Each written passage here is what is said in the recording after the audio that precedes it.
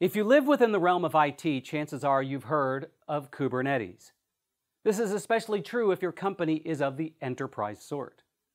But if you've managed to duck and dodge your way out of Kubernetes influence, you might be wondering what exactly is this technology? Let me see if I can explain it in simplest terms. To understand Kubernetes, you must first know that a container is a distributed application that contains everything it needs to run. Containers are OS and hardware independent and are deployed based on images, such as the official Nginx image, which can be pulled from numerous repositories.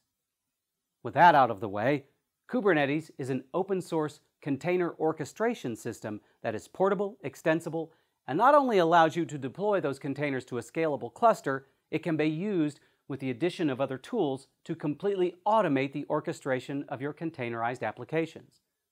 Kubernetes was originally created by Google, but is now maintained by the Cloud Native Computing Foundation. Like that single Nginx container you can deploy, with Kubernetes, you can turn that container into a massively scaled service that is automatically deployed, updated, scaled up or down, and more. Kubernetes can be installed in your on-premises data center or can be run from any number of third-party hosts, such as Amazon Web Services, Google Cloud Platform, Azure, and more.